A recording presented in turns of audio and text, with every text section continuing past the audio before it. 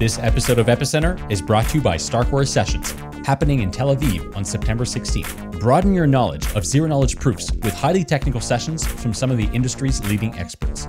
Register at epicenter.rocks slash starkware and receive 20% off the regular ticket price with the code EPICENTER.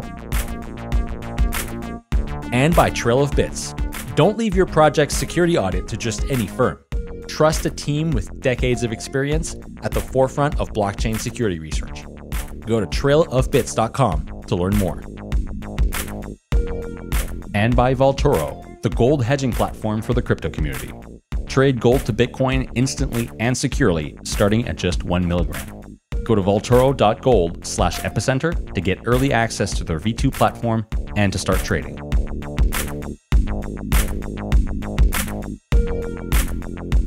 Hi, welcome to Epicenter. Epicenter is a show that interviews crypto entrepreneurs, academics, and business people in the cryptocurrency space. I am Meher Roy, and with me is Friederike Ernst. So, Friederike and I are going to chat with Igor Barinov, who is the tech lead for the POA network. Now, the POA network, I feel, is one of those projects that challenges a lot of conventional wisdom on how crypto networks and proof of stake networks in particular should be built. What's your opinion of it, Friederike? Oh, it's super interesting. So uh, we are trained to think of um, centralization and dependence on individual actors as something bad, but it doesn't necessarily have to be. Um, so it was super interesting to hear Igor's points on this. Yeah, so it's essentially this consensus algorithm where all of the validators are US notaries and their identity is known. And it has a very unique economic system, very unique governance system. I mean, if you look at it from a game theory perspective, probably you're not going to find it very sound. You can have various critiques of it. Certainly, I, I was getting a lot of critiques in my mind. But the reason we felt this made an interesting episode is, at least for me, the lens of game theory is is an interesting lens, but sometimes human behavior is actually different from what what your mathematical model of the game is going to predict. And and then you need experimental data. You need experimental economics, putting people in situations to see how they actually behave. And I feel from that perspective, it's it's amazing that like a project is doing an experiment like that what if you made like notaries the validators and you wrote the proof of stake game that way? I feel like they can be very valuable data that comes out of an experiment on how humans actually behave when they're given a position of responsibility in in in in, in that kind of way. So without much further ado we give you the interview with igor Hi, Igor. Thanks for being here today. Um, so, uh, to start things off, um, can you tell us what your background is and how you got into blockchain? Um, hi, hi, my name is Igor. I'm tech lead of uh, POA Network. Uh, my background, uh, I have education in computer science. Uh, uh, I worked all my life in in IT. Um, most of the time, I worked in enterprise, in mobile op operators, I, I got interested uh, with blockchain, with uh, Bitcoin, um, and uh, cannot stop since then. It's quite easy, right? And from Bitcoin to Ethereum, and from Ethereum, I decided to stay with Ethereum for a while um, because it's, uh, I think, the, the most exciting development uh, that we have for the last four years. What was it that caught your interest in Bitcoin? Uh, before Bitcoin, uh, uh, we participated uh, as a team in uh, distributed protocols. If you if you remember, there's a BOINC, where you know SETI at home and some other distributed data processing um, algorithms, and we participated in this. And when I first time heard about you know peer-to-peer electronic cash system, I got excited. And actually, what we're doing now with our XDAI development is uh, bringing this uh, electronic peer-to-peer cash system uh, for like real-world application with uh, like required speed and uh, transaction price uh, and programmability, which is very important for for electronic money, right? So that's the the idea is even then you don't understand it when you understand that money can be free and yeah, that's that's very exciting. So that, that's how I started. Um, it, it was quite hard to get, uh, uh, let's say, a job uh, with uh, before before Ethereum time in, in, in, blockchain space. So I worked with uh, multiple blockchain companies and participated in like all hackathons, even before you know blockchain hackathon were like a term, right? Like just you just come to, to a hackathon and you explain what blockchain is to judges, and and after um, you, you, build something and show it, it to them. Uh, and, and after I worked uh, as a consultant for a Singaporean company called Acronis, built some, let's say, smart contracts and tools around them. Uh, which after and after this consulting, I started POA and so working with POA since then. You started working with POA from the get-go, so you're one of the founders, but you don't you don't call yourself that. You call yourself um, the tech lead. Why is that? Uh, we don't ourselves founders and co-founders, and you know, we don't have C titles. Uh, it's a it's it's a it's a form of organization. We decided that uh, uh all of us are like contractors contractors uh, uh, to the network and to the protocol. We had some like initial roadmap and white paper and ideas about like how to make Ethereum protocol you know scalable this way right? And how to build um, tools which are like not available for um, for this type of protocols. And we decided that we contribute our resources towards this um, idea. And uh, when you work in you know in, in open source uh, uh, field, it's easy to be um, like developer and to be uh, a builder than to be like CEO and, and so forth, right? So we're not selling our products. We don't have this, you know, commercial department, uh, business development, and so forth. Um, yeah, so that's why we, we don't have like C titles. Um, technically, there are some C titles because it's required by, by regulation uh, for, for, some, for some operations, but we don't use them, not internally, not externally. And we have quite a flat structure within the team. So, do you have like a corporation that's actually building the things, or is it just the DAO? Yeah, it's uh, it's uh, it's quite a common legal structure when there is a, a, foundation which holds some crypto assets and the operational company which is building stuff and not not even one operational company, multiple operational companies uh, and external partners. And um, technically, uh, it, it, it works in, in, in legal field and uh, that's right. There are some companies. We're not operating only as DAO because it's quite hard, let's say, to pay AWS bills, right? With uh, as a DAO, you have to have a company to pay from. Uh, the same with uh, you know with uh, people and uh, other expenses. I get why you why you don't have a CEO, a COO, or you know other C titles towards the outside. Um, but how does the governance inside POA actually work? Because someone actually has to decide which direction to march in, right?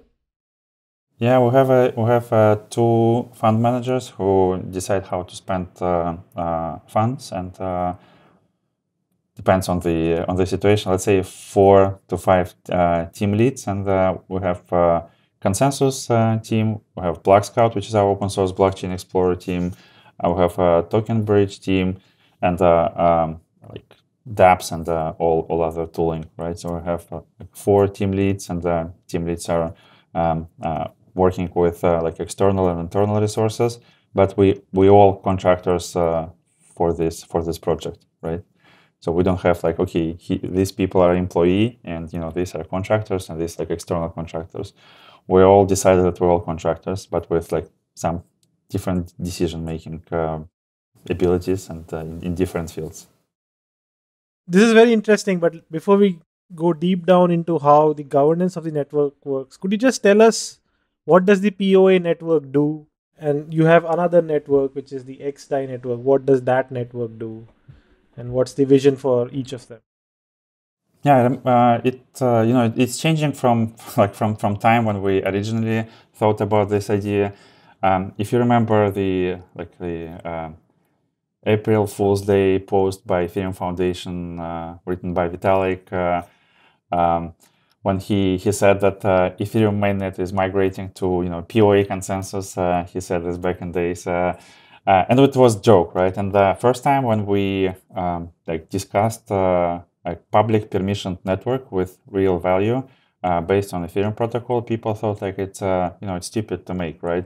First of all, it's uh, you know centralized, which is uh, uh, a strong argument. It's it's hard to argue about it. Uh, second is that it's not secure, right? It, because proof of work secure and other, especially with you know this type of consensuses with like exclusive group of validators are like not secure at all. So that's what people think, right? It's not what I think. Um, so it was uh, it, it, started as an experiment. Like, why do we need this experiment uh, to make the protocol, which is like Ethereum protocol, more accessible to people and let people experiment with this protocol uh, for for their own needs, right? POA network basically has different uh, consensus algorithm, different set of validators, different reward structure, but the same basic client, right? Without any uh, hardcore changes uh, in the uh, for, for, for developers. So it's quite easy to jump from network to network, right? Uh, and the the XDAI is a if we think about this, it's a, it's it's it's it's it's very new experiment uh, because this network is actually the the first um, stable chain, the chain with a stable native token without any initial emission, without any supply of this stable token. So all tokens on all native tokens the, on this network are breached from, from mainnet to XDAI. So it's a new concept. The theoretical concept of uh, hard spoons are known for, for, for, for a couple of years, but XDAI is the first um, uh, hard spoon with a, with a stable token, which is not competing with Ethereum, right? Because uh, the stable token home is on Ethereum. So that's uh, that's kind of experiment that we made within this XDAI network, and you know people love to use it. Uh, I think that the, it uh, it was not possible out within the Ethereum mainnet network and setting. So we had to ha- we had to make it somewhere outside, right? So that's uh, that's that's the main reason uh, to exist.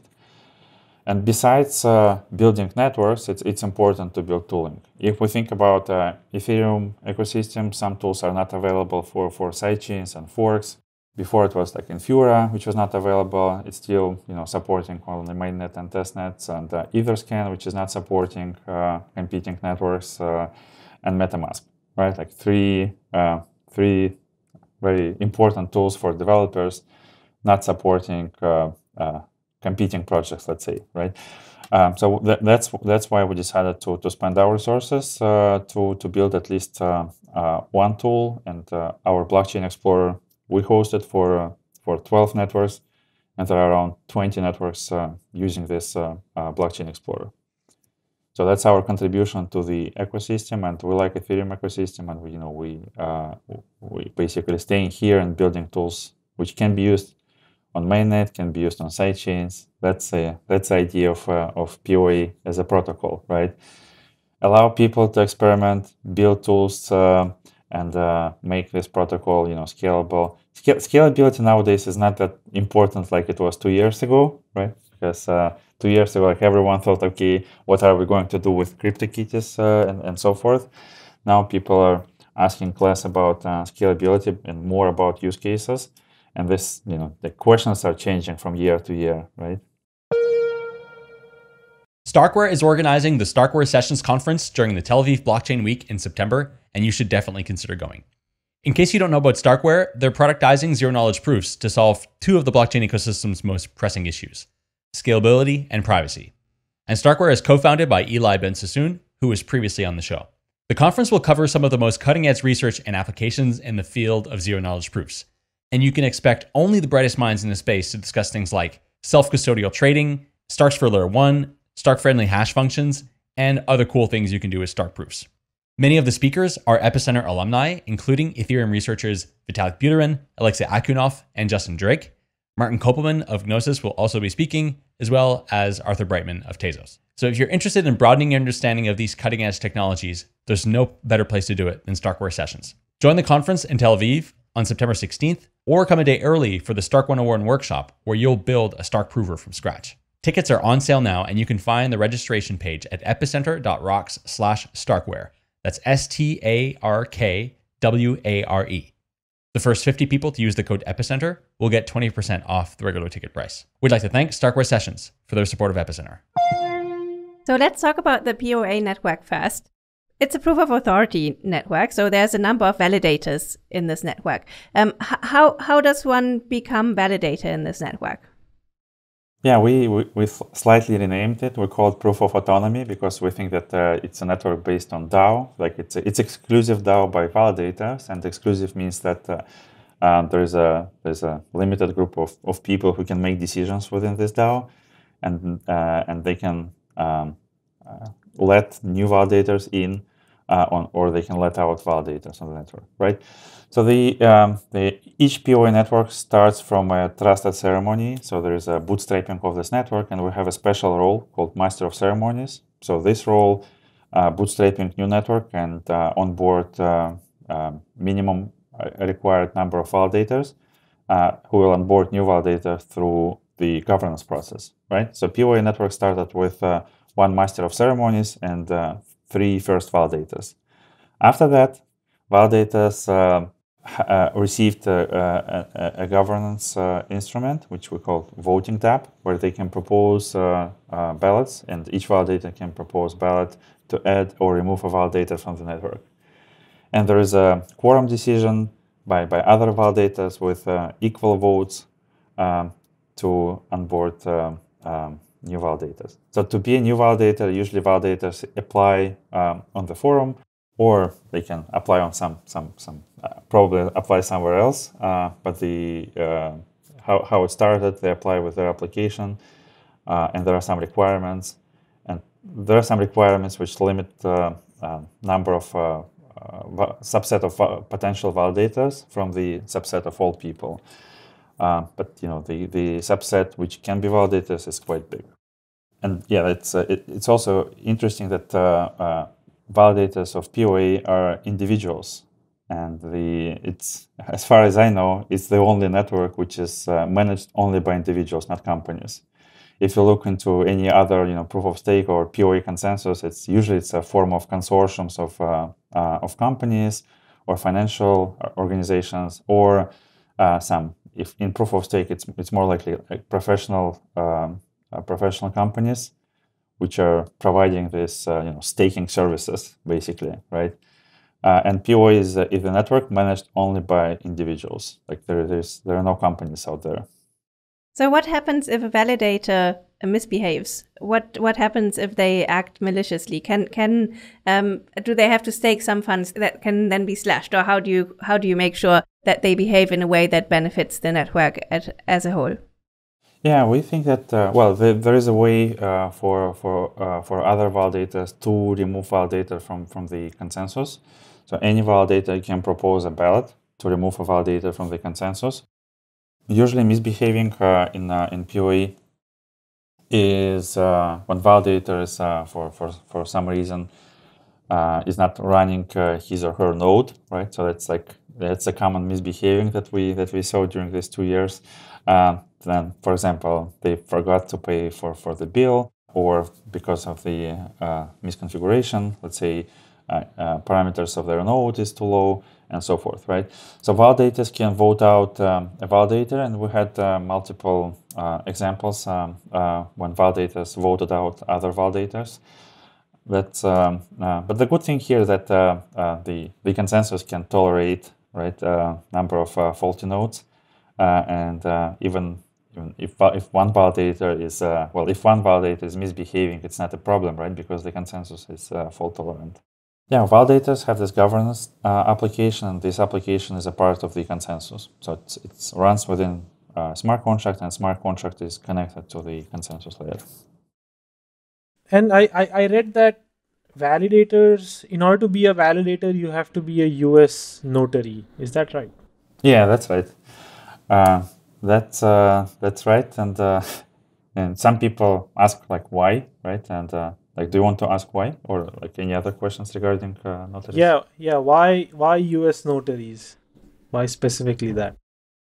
Okay, so why why the U.S. notaries? Uh, because uh, first, uh, um, first of all, it's it's a, it's it's it's a great way of making uh, KYC on validators, right? We when we think about individuals, what is the best way to, to get KYC, right? When people apply to be US notary, government is US government uh, on state level, is making KYC checks on on applicants.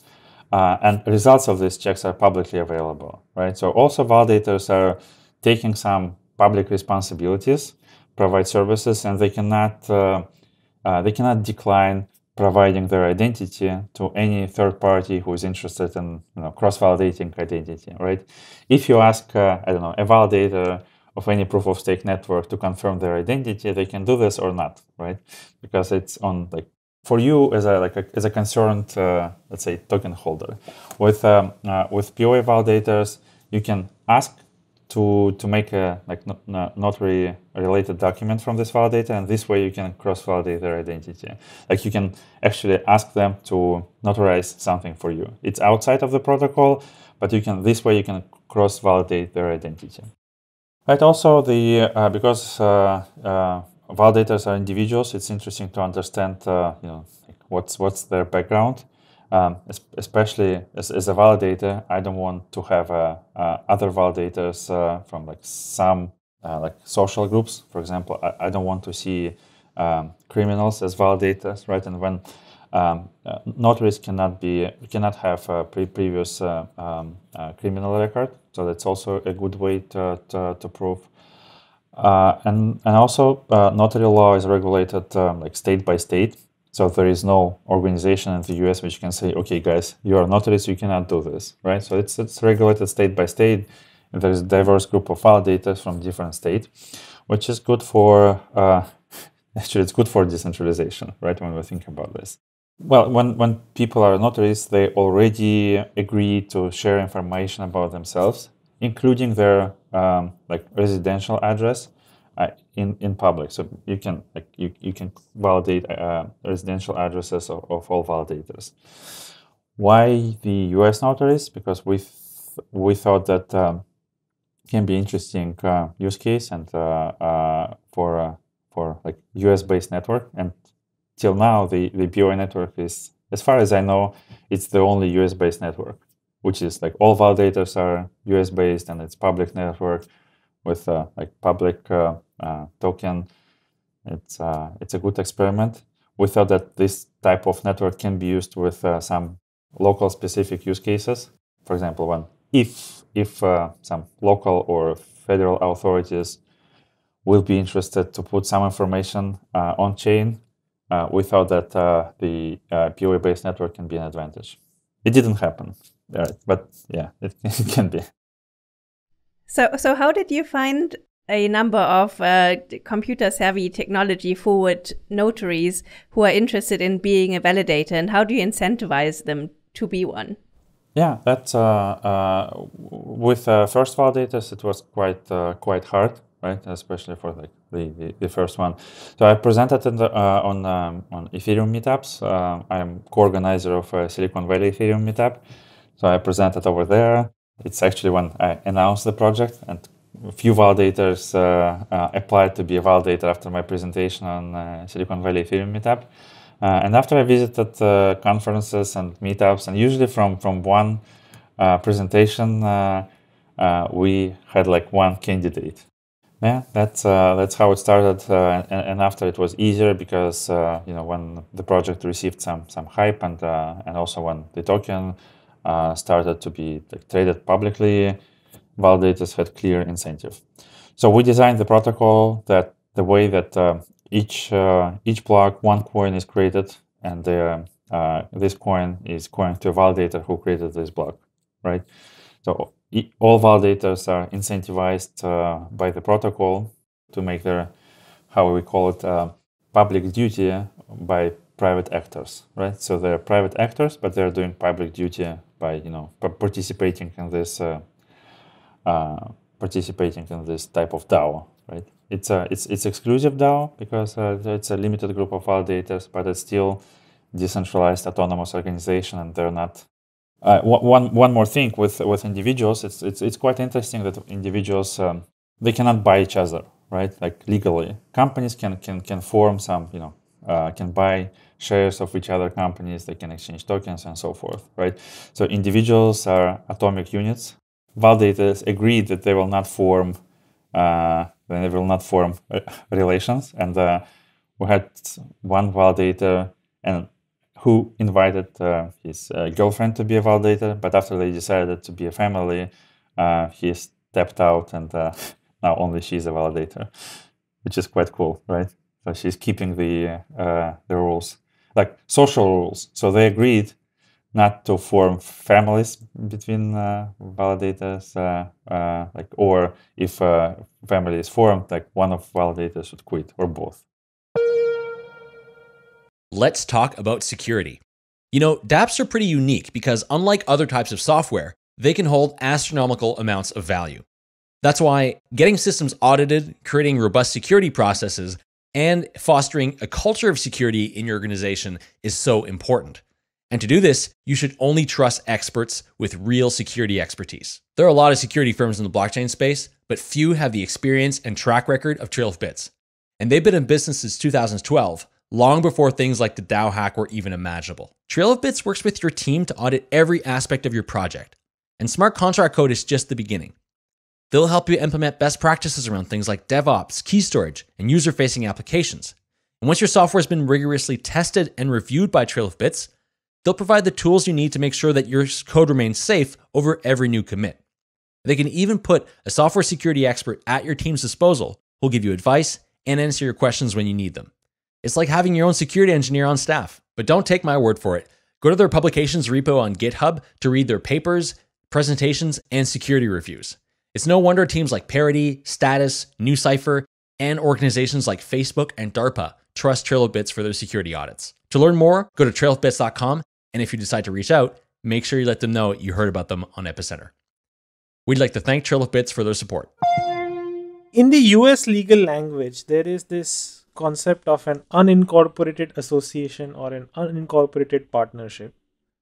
So this is like a collection of individuals that is doing some activity, but they have not incorporated in any of these legal structures like LLC, S corp, C corp, etc. The, the thing is like if you're an unincorporated partnership or association, and if there's ever a legal lawsuit against that association, then the members of that association are individually infinitely liable for if something goes wrong in that lawsuit. So wouldn't don't your validators worry that this kind of organization where there are identifiable individuals with their records accessible if if let's say there was a hack of the POA network and people lost a bunch of POA tokens or XDAI tokens or whatever then all of these individuals are going to be legally liable for that event. Yeah, it's a it's a good question. We we don't know about uh, lawsuit against this type of um, formations. Uh, I the, the first question I asked myself uh, when I started to design the protocol was like, is it even legal, right, uh, for for individuals to create their own basically tokens and protect uh, someone else's resources? And that was my first question. And uh, I asked lawyers. And I remember when I asked this question, my perception was like, I'm doing something wrong.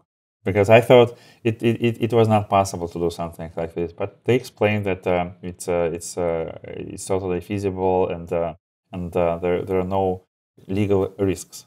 The same question was with uh, with our uh, bridges product, which can you know allow individuals to transfer tokens between networks. Like, is it legal to transfer tokens or not? So validators can be uh, can be legally binding to lawsuits uh, if like whatever they're doing is uh, uh, against let's say token holders, right? If they like collude, technically it's possible. And from my perspective as a protocol designer, I think it's great, right? So it, it, it what protects the this DAO, this DAO from colluding because they understand that they're publicly exposed persons and they they they taking this uh, responsibility. I tried to call this uh, skin in the game, right? They like they they didn't like it uh, uh that uh, I call it skin in the game. So we call it identity at stake. So like most of the validators, they already you know they're they they people with uh, you know their own like families uh, and uh, you know their own lives. They don't want to uh, risk this uh, like status quo, and they actually they they understand um, what uh, they're doing and they agree on this it's interesting that we have uh, uh, we have like we have different um, different uh, professions. Some people think like, oh, most likely all validators are U.S. U.S. notaries, but notary in the U.S. it's it's like a separate uh, uh, way of uh, it's it's it's not it's not a job right for most people. It's just like additional uh, source of uh, of revenue for for most people. So the, the, there are different backgrounds. Uh, there are software engineers, business owners, and also there are lawyers, right?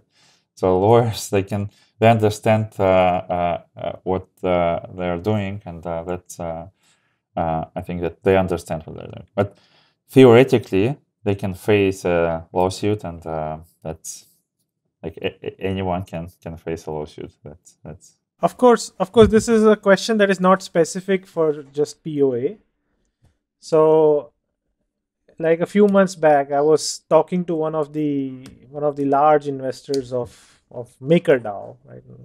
Huge mkr holder and they were talking about these designs of these committees you know like the stability fee committee and this fee committee and that fee committee. And committee members there are individuals and they have similar risks. Now if you're in a committee and you jack up the stability fee and somebody like loses money because you jacked up the fee too high or too low what protects you from a lawsuit there? Yeah yeah i understand totally we worked with uh, with multiple lawyers on like on legal uh, opinions on, on our products. Actually, it was good to see Stephen Palley here in on your uh, podcast. We were a client of him.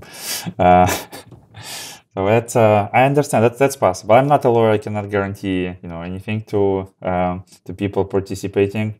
And uh, it's it's possible that I made a, a mistake while when I designed the protocol, and we had validators had many questions. For example, like how to make, you know, they're, they're all Americans, right? They're all, uh, well, not all Americans, all uh, US residents, because you, you can be a notary in the US without being American. So we have a few Canadians and, uh, uh and uh, one uh, Russian citizen, but they're US notaries and they, they participate in the consensus. So the question is like how to, how to tax revenue from the, from the consensus.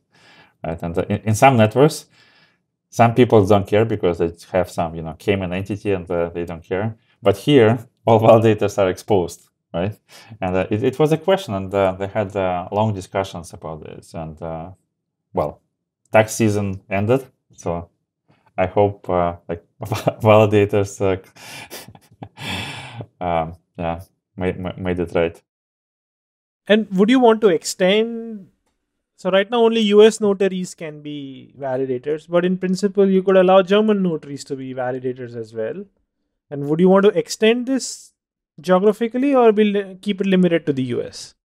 Uh, right. So uh, the idea of sidechains is that uh, we can, if we think about scalability, right, and scalability not only about transactions per second, but also about uh, like use cases and uh, roadmap of the network we can we can we can extend it vertically, right? So we can we can think, okay, so US validators is like not enough. Let let's add you know some some other jurisdictions with uh, their own problems. You know, let's add some European validators with GDPR right, uh, regulation, or we can we can we can make horizontal scaling and we can say yeah, the, this model is interesting in the US, but let's have a network with you know European validators and so forth.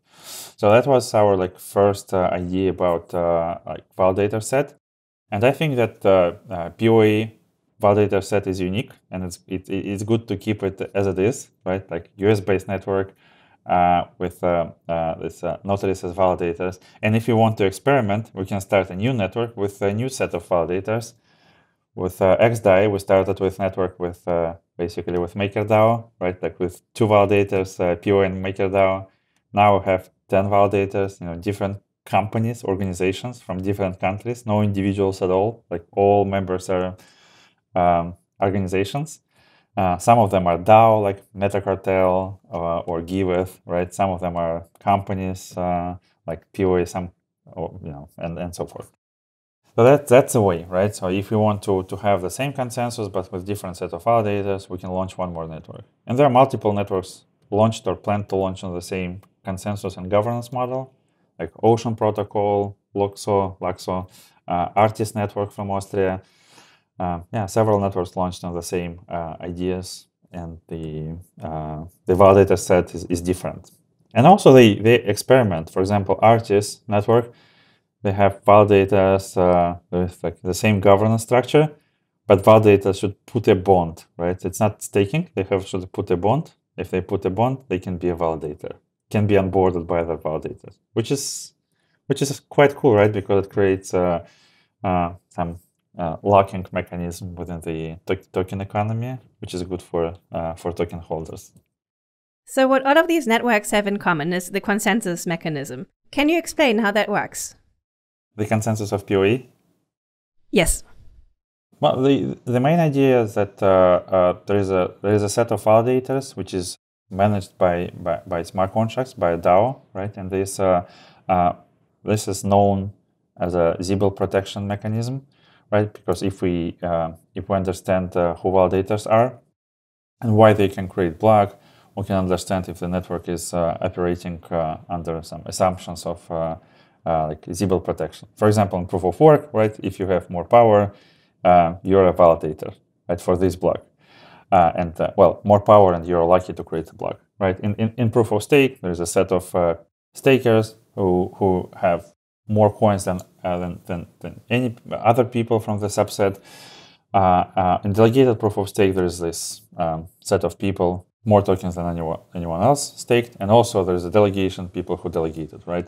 In POA, there's a set of people who are selected by subset of this set. Uh, and um, the whole set can manage this uh, uh, set by excluding uh, validators or including them based on uh, DAO decision, right?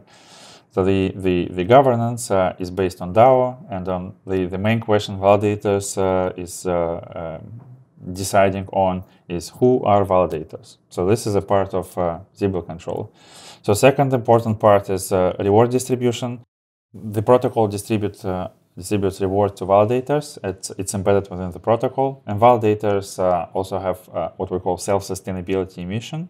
So some emission they can spend uh, on the uh, on the protocol um, to support R&D and, and so forth. Right, the, the underlying BFT consensus can be swapped. For the now, for now, we're using uh, Aura consensus, which is developed by Parity Technologies, and uh, we plan to migrate to, to a new censorship resistant consensus uh, in 2020. So that's our plan.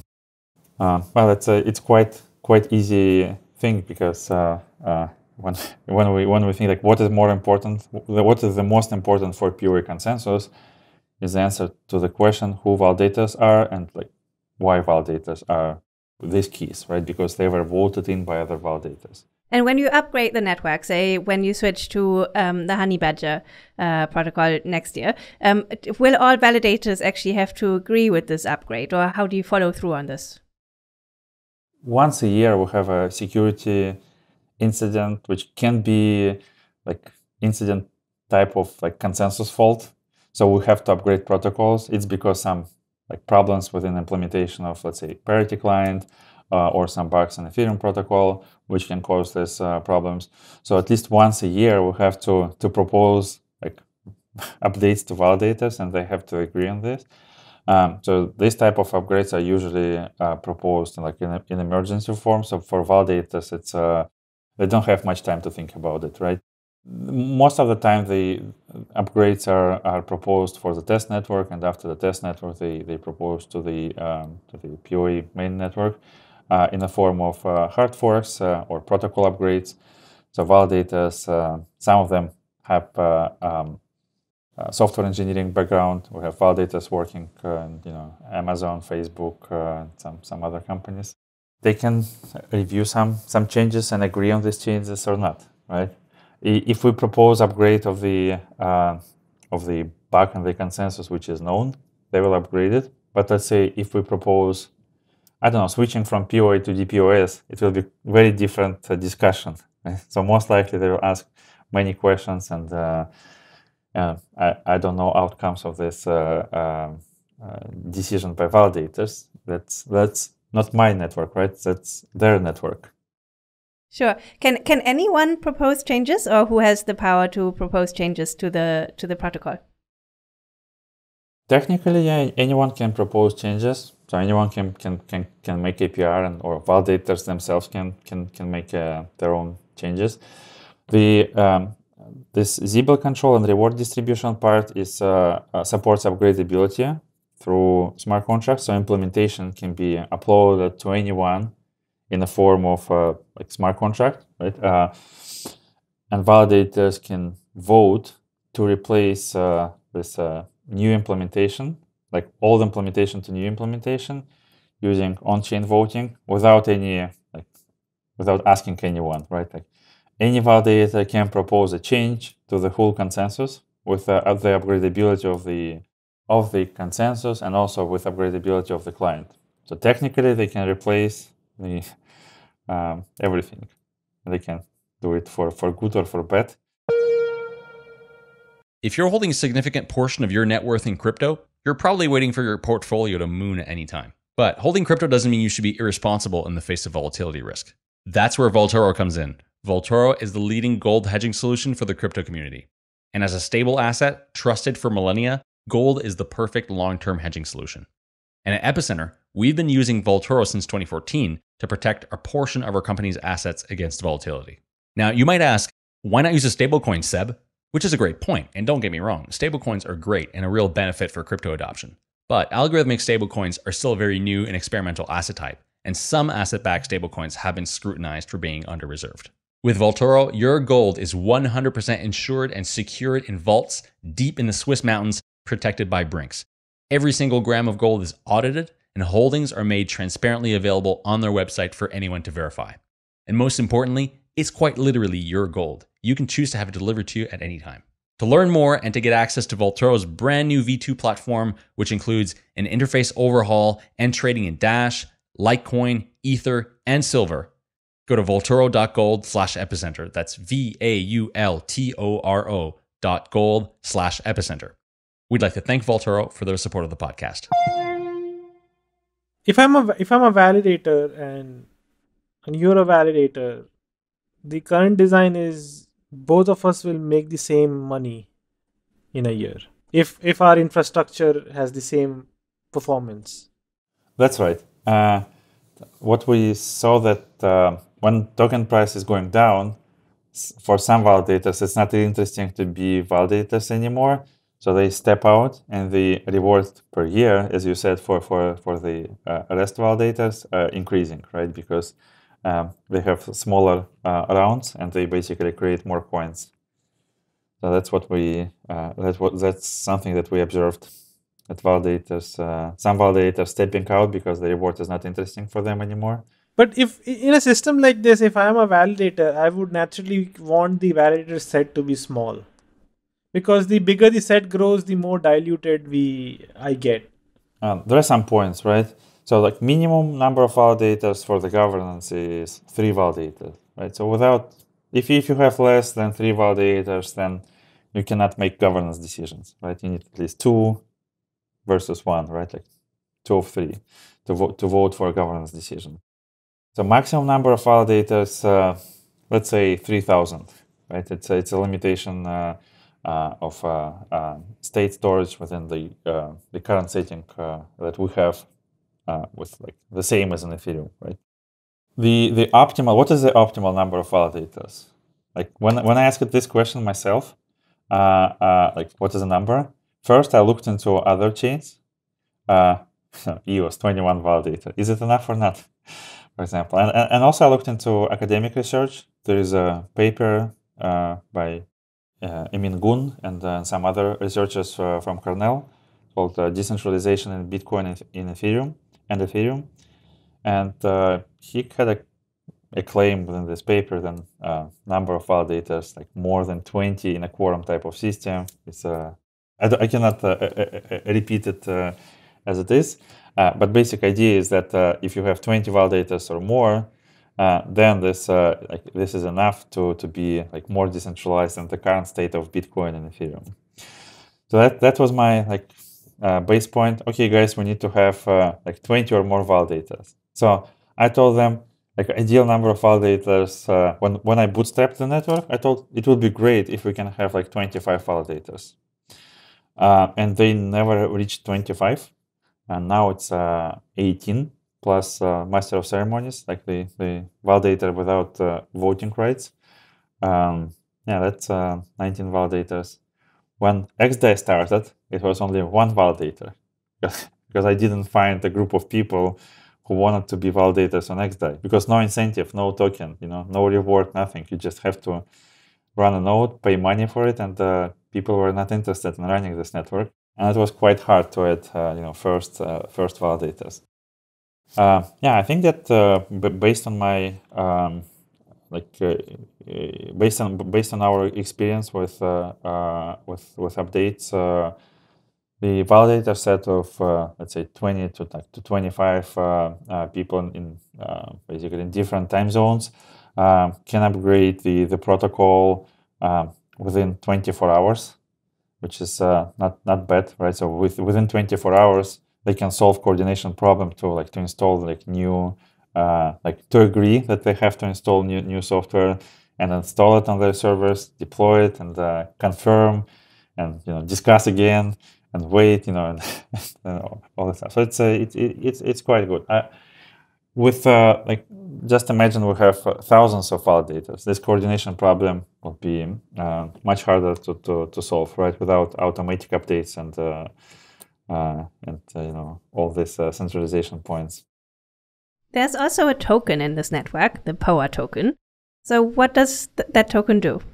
Uh, well, the uh, the the protocols was designed in 2017, right? So we uh, and we looked into how to make uh, Ethereum protocol more scalable. So basically, copied the the idea of uh, of uh, of the Ethereum utility of the token, and basically it's a it's a it's a way to pay for gas, and also unit of account and medium of of exchange on the network. That's, uh, that's, that was the basic uh, um, uh, promise of this token. Later on, we exchanged use case. we, we added, we added additional use cases. So the, the interesting use case was with the with the first bridge, which we launched on POA.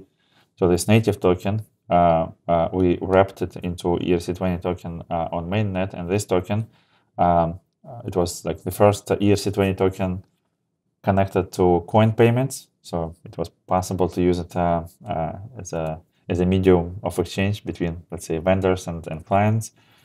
Also, it uh, can be lended on, borrowed on uh, ETHLend, swapped to other tokens on Uniswap, traded on in a, in a wrapped form or on native tokens on exchanges. So there is like arbitration and speculation features, which is also a part of any token economy right? And uh, and possibly will be some uh, staking uh, features if validators of POA uh, decide to, to, to migrate to, to, to our new delegated proof of stake consensus. Tell us about this uh, new delegated POS. Yeah, this, this delegated proof of stake is designed for um, uh, for for for XDAI first. Uh, so the the one of the main questions to, to validators, uh, people think that this uh, structure is uh, centralized. I don't call it centralized. I call it exclusive.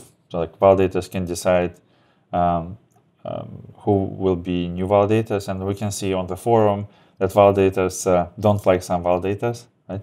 And reasons, for example, one obvious reason because a new validator don't know any other validators, right? So people don't trust him that's uh, that's one of the uh, one of the problem like exclusiveness uh, of the protocol is something that can be uh, not not good in some situations for example in in in, in, in potential censorship problems uh, when validator set is uh, small and exclusive and there are some you know orders for example to stop and not do whatever you do the this exclusive validator set can break promises of fluidness of the network, right, of the consensus. That's one of the main reasons uh, to make uh, the public permissioned network with uh, uh inclusive uh, access to, to set of validators. So that's, um, that's, that's why we need um, uh, staking, because anyone with a staking token can participate in, in, in a staking as a, as a candidate who can be elected as a validator. and to, to bring Mm, like reputational part uh, to this selection, uh, and also to select a subset of um, uh, of validators, not only based on their own uh, stake, but also by like public trust. We uh, added uh, delegation to this consensus, and this is that's why it's delegated proof of stake. Um, some people don't like delegated proof of stake ideas, especially after you know EOS, and they think it's still centralized.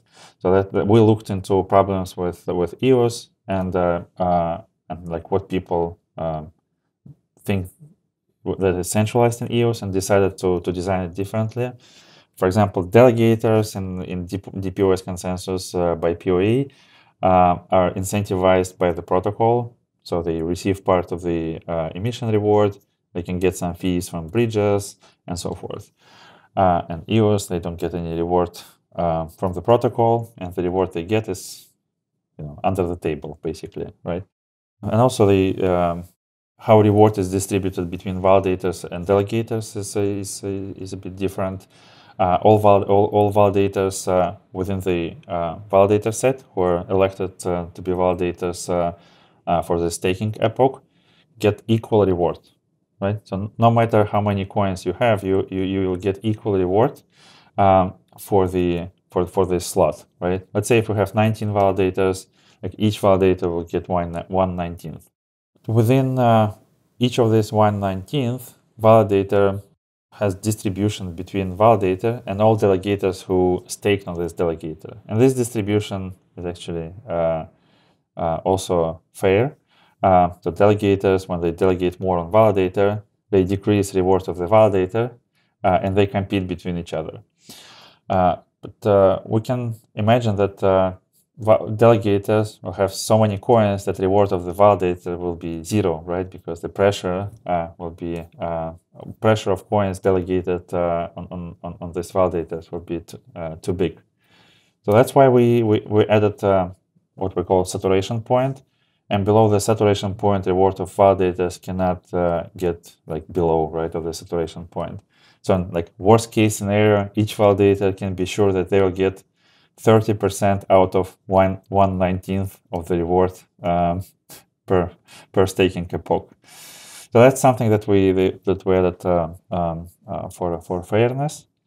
Uh, and uh, also, I'd like to mention that the uh, the staking consensus, uh, reward distribution, Sybil control, all these uh, uh, um, consensus related parts of this protocol, but not BFT part. They they all implemented in Solidity, which is good for for developers because they can uh, let's say if someone is interested in taking this protocol and adapting it for their own side chains they can take it and tinker with it. And you know it's a high level language. It runs with an evm uh, like all advantages uh, of Solidity, access to developers, access to smart contract auditors, formal verification, which is very hard to get on uh, like protocol built on like low level, let's say. What's really fascinating about about POA is that you're like you know challenging conventional wisdom on many dimensions. And you have a protocol that that does many things that other protocol designers just wouldn't touch. Now there are reasons why protocol designers wouldn't touch things like this right? So for example this idea that you can have a minimum reward rate for the validator. It cannot go below 30% of 1 by 19 this is an issue that's being debated in the Cosmos ecosystem. Should be a, should there be like a, a UBI for validators? Should there be like a basic income for all of these validators? The problem that prevents something like Cosmos from doing it is that the argument is if you give a UBI to all the validators, well, the validators will just promise the delegators, hey, delegate with me, and I will give you part of my UBI as extra rewards outside the protocol and so the UBI will not function as a UBI because the validators and the delegators can break the UBI outside the chain. Now, it, it feels like you haven't worried about a problem like that at all, and you will implement a UBI, UBI and we'll get to see the result of that.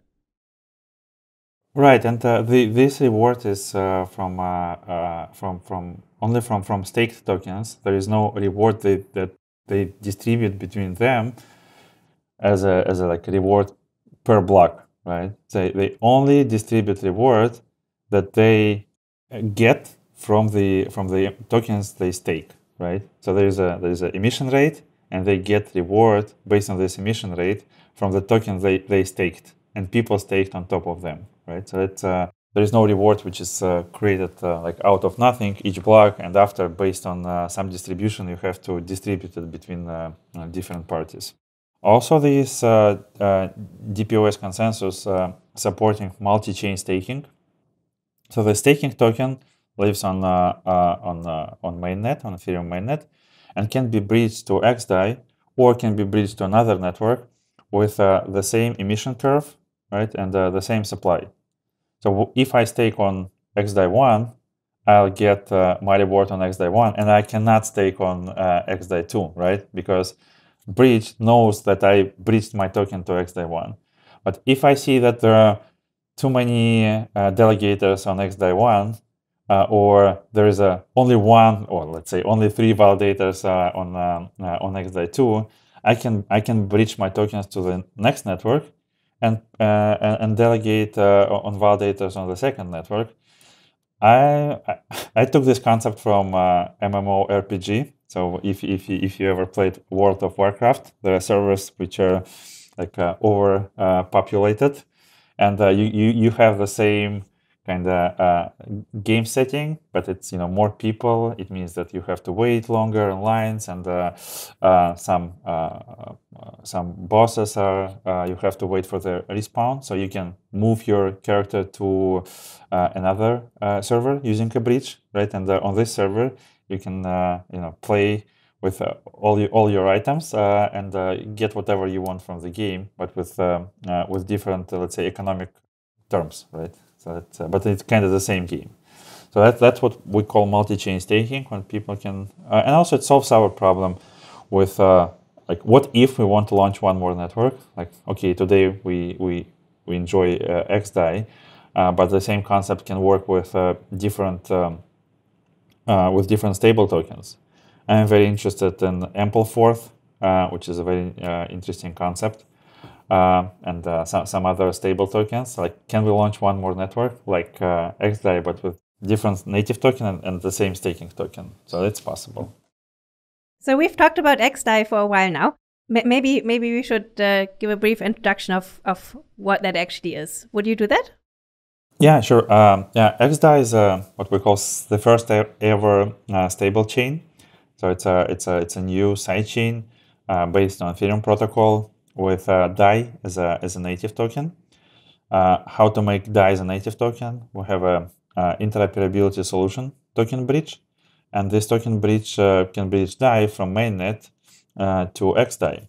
So on, on mainnet, uh, this bridge allows to lock unlock DAI, right? And on the XDAI side, this bridge allows to mint and burn DAI, XDAI.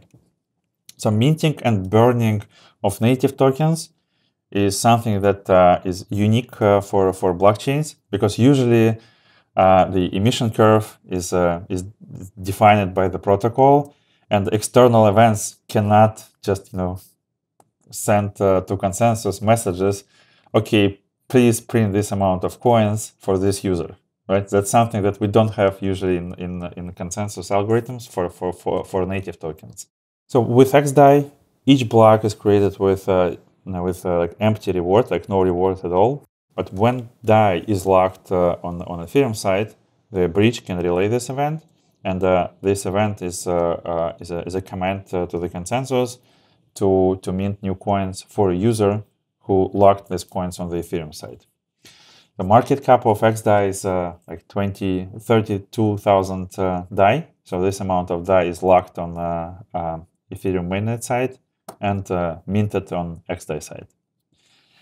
Uh, that's um, something that uh, gives very interesting perception when you use the network because if you have an account balance um, in DAI, it looks like you have an account balance in dollars, right? And when time uh, passes, you have the same uh, account balances if you don't spend it. Uh, and it's something that is very convenient for us in real life, right? And it's very hard to get in, in, in cryptocurrencies.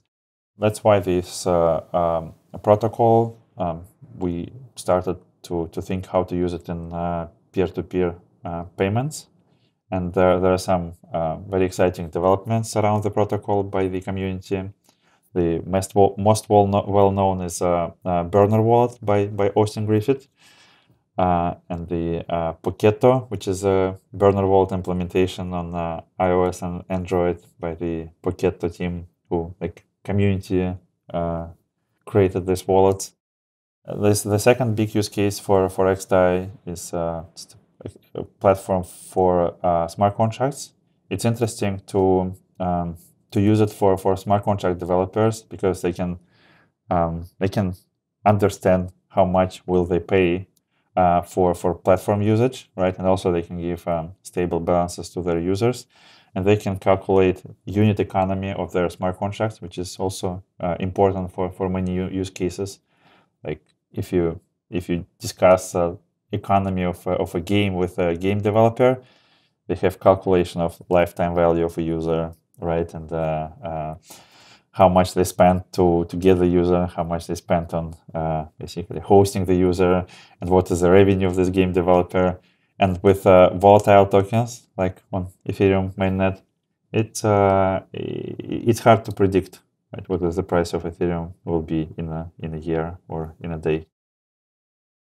So the POA and XDAI networks are not trustless, but they offer fast finality and low transaction costs in some way, this limits the use cases uh, for the POA mechanism. So, what what are things that you think definitely should absolutely not run on POA?